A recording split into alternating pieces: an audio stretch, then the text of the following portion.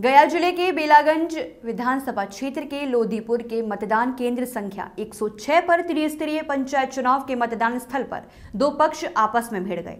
झड़प को देख कुछ समय के लिए मतदान स्थगित कर दिया है।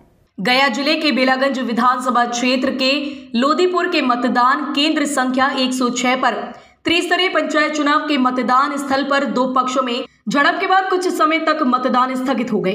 तत्काल सूचना पीठासीन अधिकारी के द्वारा जिलाधिकारी को दी गई। सूचना मिलते ही जिलाधिकारी व वरीय अधिकारी मतदान केंद्र पहुँच गए और शांति बहाल करते हुए पुनः मतदान शुरू कराया गया। इस मौके पर सदर अनुमंडल पदाधिकारी ने कहा कि किसी भी उपद्रवी को छोड़ा नहीं जाएगा। मतदान सब शांतिपूर्ण चल रहा है और सब कुछ हो रहा है, लगभग 20 परसेंट वोटिंग भी हो गया है। यहाँ पे शिकायत यही मिली थी कि कुछ बाहर के आदमी आए थे और वोटिंग में डिस्टर्ब करने की कोशिश कर रहे थे, जिसके कारण कि स्थानीय लोगों के द्वारा विरोध किया गया। और इसी वजह से कुछ देर के लिए पोलिंग बंद हुआ था, लेकिन अब सुचारू रूप से चालू है, कोई दिक्कत नहीं है। फोर्स का डिप्लॉयमेंट भी हो गया है मजिस्ट्रेट भी आ गए हैं एक्स्ट्रा फोर्स और हम लोग भी आसपास के एरिया में ही घूम रहे हैं। तो कोई दिक्कत नहीं है, सब शांतिपूर्ण होगा। चलिए, ठीक है।